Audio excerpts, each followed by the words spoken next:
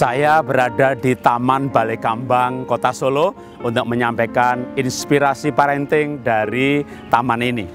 Inspirasi mendidik anak kali ini saya ambil dari bukunya Prof. Slayton yang berjudul Better Dad. Nah, dalam buku ini ada data dari Father Fact yang terbit sudah lama tahun 2007 edisi kelima disampaikan hasil penelitian bahwa kalau anak itu jauh dengan bapaknya. Jadi tidak ada figur ayah, kekosongan figur ayah, maka rentan kemungkinan narkoba, cerai, gagal kuliah, berantem sama adiknya, hamil di luar nikah itu 70% lebih tinggi dibanding dengan anak-anak yang punya kelekatan hubungan dengan ayahnya panggilan laki-laki selain sebagai seorang suami, kepala keluarga, maka yang cukup penting juga adalah panggilan menjadi seorang ayah.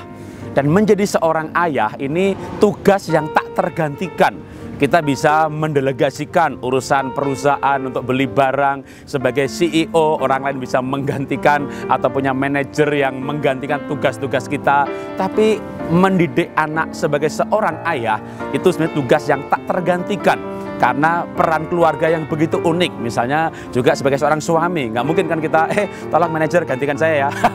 Gimana kita mau mendelegasikan tugas suami kepada orang lain? Nah itu lebih ekstrim ya antara suami istri. Nah anak mungkin masih sedikit tergantikan. Misalnya suruh suster suruh pengasuh anak. Tapi sebenarnya itu tidak 100% benar. Tetap ada tugas-tugas seorang ayah yang tidak tergantikan terapi ayah adalah terapi yang terhebat di dunia ini. Uh, untuk anak-anak kebutuhan khusus, baik itu misalnya autis, terlambat bicara, adik-adik nggak bisa konsentrasi, nggak mau baca, nggak mau nulis, ya memang bisa saja mengirim anak ke tempat terapis atau memanggil terapis datang ke rumah. Tapi saya punya lembaga yang menangani anak-anak seperti itu. Pemantauan kami adalah tingkat kesembuhan atau pemulihannya kecil sekali. Tapi ketika kami berhasil meyakinkan orang tua, khususnya ayah, untuk terlibat sebagai terapis di rumah.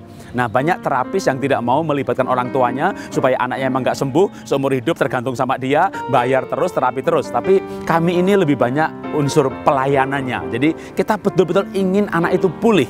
Dan menurut ilmu yang kita pelajari bahwa anak itu pulih peran ayah sangat penting. Maka kami minta ayah terlibat di dalam terapis anaknya dan mencengangkan bahwa dari 10 kasus atau 100 kasus itu bisa 80-70 persen di mana ayahnya mau terlibat sebagai terapis itu mengalami kesembuhan bahkan pemulihan yang luar biasa.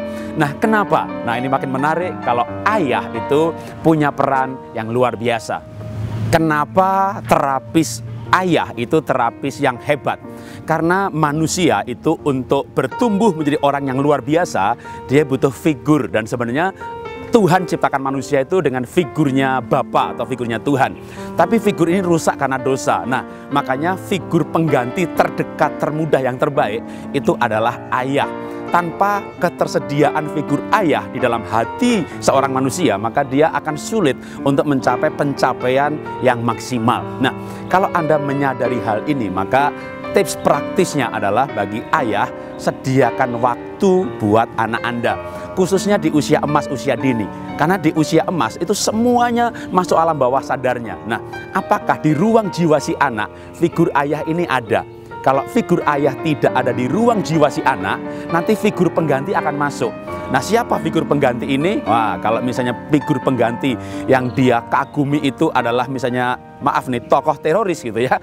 Dia akan disuruh apa saja, dia akan mau. Kenapa? Itu figur penggantinya bersyukur kalau figur penggantinya itu tokoh sukses, tokoh hebat, tokoh bijaksana, tokoh kaya, dia akan mengejar figur itu.